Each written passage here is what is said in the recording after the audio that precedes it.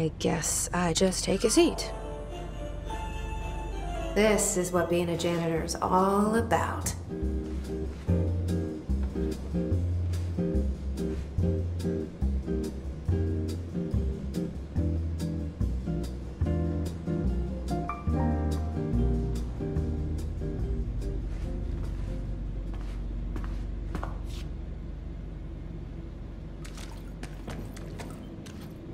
I suppose the janitor's assistant does need proper janitor attire.